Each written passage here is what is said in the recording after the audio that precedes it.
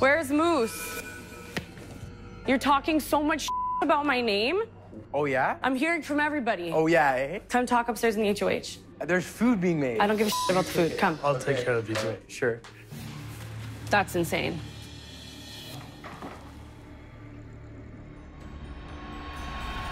I'm incredibly nervous. About what? This is serious. She just pulled Moose into the HOH. Oh, God.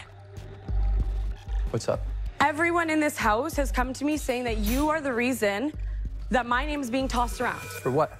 All the talking. What? I'm gonna take the first move. I'm gonna do this. I'm gonna do that. Who I don't said that trust to you? this. I don't...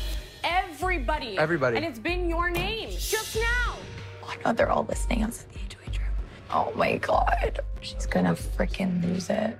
You said to her that I said that she was gonna take a shot at people. I said that a lot of people came to me this week and floated Steph as somebody that I couldn't trust. A lot of people, but your name was one of the specifics. Give me, give me three names right now that said that. I'm not gonna give specific names, but you're the common denominator. That's hearsay.